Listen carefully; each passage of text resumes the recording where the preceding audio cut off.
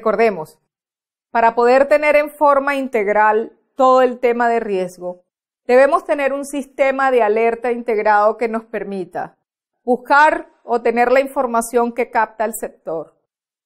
En un centro de predicción es indispensable que recordemos que los sistemas de alerta temprana como tal tienen los sensores que captan el evento, el sistema de transmisión que está en el momento oportuno transmitiendo la data y luego los sistemas de información que nos permiten interpretar qué es lo que sucede. Esos sistemas de información nos están permitiendo a lo largo de la historia aprender un poco más con respecto a los tsunamis. Pero, ¿cómo hacemos para estimar su magnitud? La magnitud del tsunami, según vemos en la gráfica, se estima a partir de la cota máxima de inundación de la ola al alcanzar la costa. Vemos que esa cota máxima de inundación en la gráfica está identificada con la letra R y ese corresponde al lugar de la costa donde los efectos del tsunami pueden ser máximos. Las primeras escalas destinaban la valoración negativa a los tsunamis cuya altura máxima de inundación era inferior a un metro. Hay distintos grados de magnitud de tsunami. Las reconocidas actualmente en escala de grados nos llevan. Un tsunami escala de grado cero te identifica que la altura de la ola de metros es de 1 a 2 metros. Un tsunami de grado 1 tiene alturas de ola de 2 a 5 metros. Un tsunami de grado 2 tiene una altura de olas en el orden de 5 y 10 metros. 1 grado 3 tiene olas de 10 a 20 metros.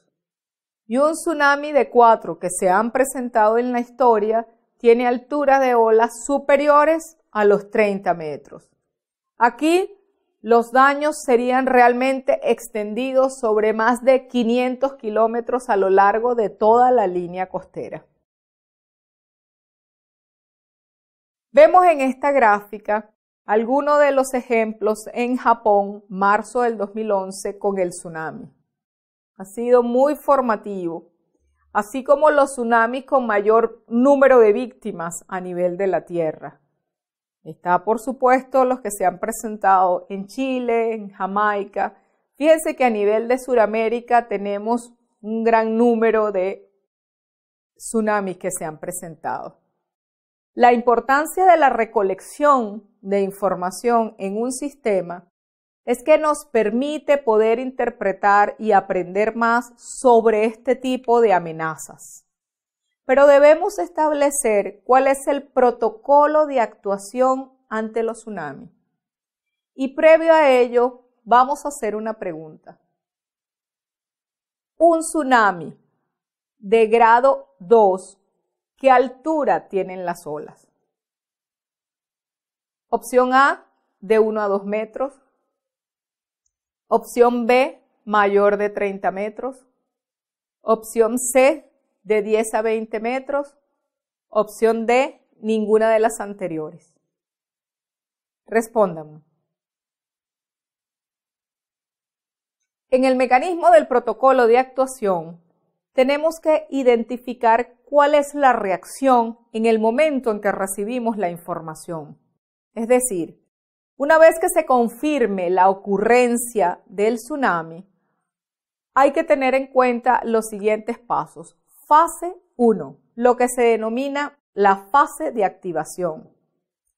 Fase 2, en el caso de los que se encargan de la preparación para la emergencia, verificación por parte del secretario técnico de la información que está recibiendo la alerta y activar y convocar de inmediato a todos los miembros del centro de control y a los responsables de las áreas que van a ser los que van a impactar desde el punto de vista funcional.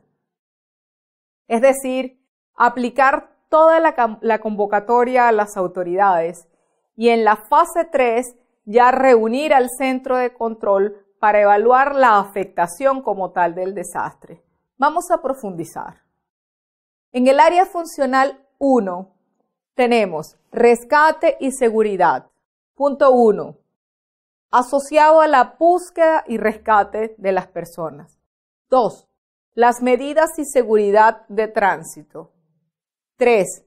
Los mecanismos de control de incendios. 4. La evaluación masiva de las zonas afectadas y que puedan estar en riesgo. Y quinto, la emergencia por el derrame de materiales peligrosos. Dentro del área funcional 2, nos vamos a apuntar hacia los temas asociados a la salud. Atención prehospitalaria. No solamente desde el punto de vista nacional, sino desde el punto de vista regional. La vigilancia epidemiológica post-desastre. ¿Por qué? porque el número de vectores puede aumentar. Entonces hay que hacer una vigilancia permanente y sistemática desde el punto de vista epidemiológico.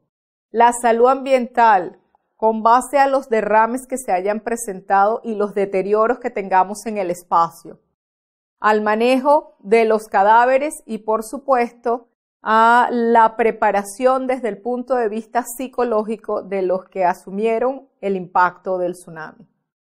Dentro del área funcional 2 y aplicado al área de salud, tenemos adicionalmente en el área funcional número 3, tenemos que identificar las asistencia humanitaria, el empadronamiento, lo que se denomina el techo de emergencia en lote, la instalación y el manejo de todos los albergues, el mecanismo de la asistencia alimentaria, de la asistencia que no sea alimentaria, sino de otro tipo, la dotación de agua temporal, la protección de los niños, los ancianos, los incapacitados, los que se denominan grupos vulnerables, la reunificación familiar. En el área funcional 4 no debemos olvidar el tema asociado a el seguimiento y control de los eventos naturales, bien sean directos o productos de una amenaza concatenada. El número dos está asociado hacia la evaluación de daños y el restablecimiento de servicios de transporte y comunicaciones. El número tres, evaluación de daños y restablecimiento de todos los servicios por redes, bien sea de suministro y abastecimiento de agua potable o de servicio de energía eléctrica. La evaluación de los daños y restablecimiento de los servicios, como decía anteriormente, de energía y todo lo que tiene que ver con la evaluación de daños en edificaciones públicas y privadas, así como el restablecimiento de servicios de educación. Otra de las tareas prioritarias establecidas en el área funcional 5 se refieren a la dirección y el manejo de la emergencia. Se debe tener pre al evento un esquema de planificación integral y coordinación de la emergencia. No debemos olvidar todos los programas y proyectos que se hayan establecido deben ser visualizando los mecanismos que vamos a hacer para evitar el área funcional número 5.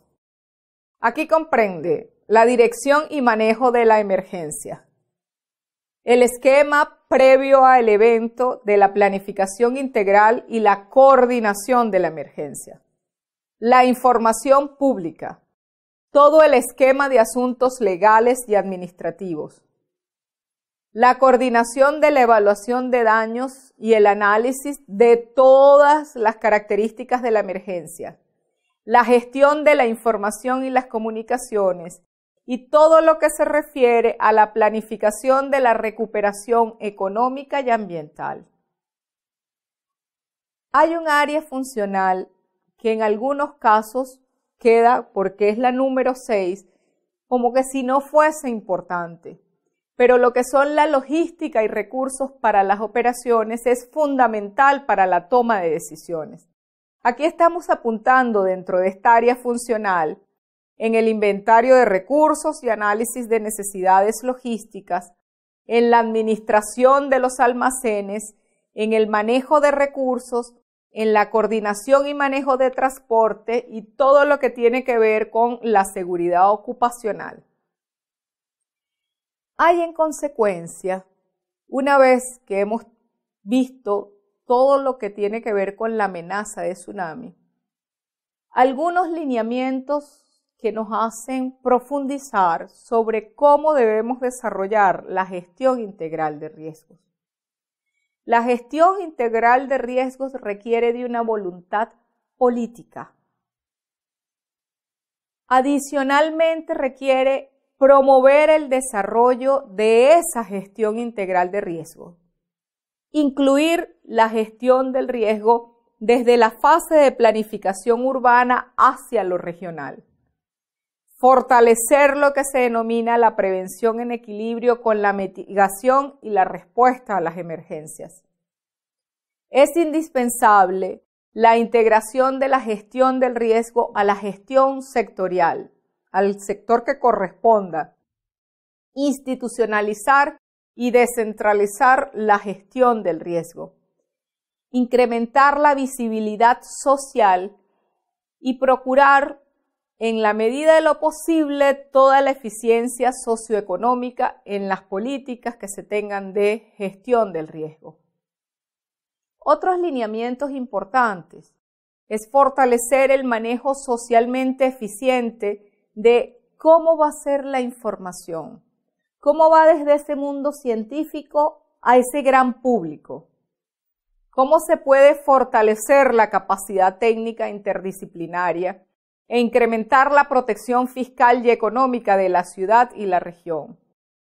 Es indispensable dentro de una gestión integral de riesgo ejercer un liderazgo efectivo, así como el desarrollo institucional de la gestión de riesgo a nivel regional y nacional. Pero para poder orientarnos, para ver qué canales se sigue, vamos a ver unos principios orientadores a la gestión integral de riesgo.